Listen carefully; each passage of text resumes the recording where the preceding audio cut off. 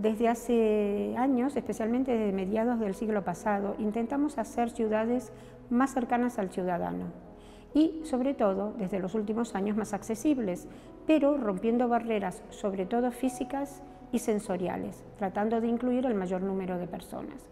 Pero ¿qué pasa con las barreras cognitivas?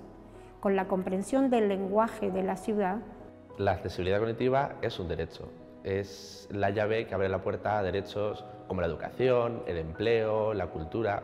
Además, no es solo responsabilidad de las personas con discapacidad intelectual, es un reto que compete a todos, porque todo el mundo se puede desorientar en un hospital o en un aeropuerto. Fomentar la accesibilidad cognitiva es lograr que el diseño y la arquitectura de las ciudades sea también más accesible para aquellos que tienen dificultades de comprensión de los espacios. Todos nos beneficiamos de entornos y edificios más comprensibles y además todos podemos ser agentes de cambio en nuestras ciudades. Lograr ciudades más sostenibles es un reto compartido y una responsabilidad para todos los que formamos parte del mismo entorno urbano.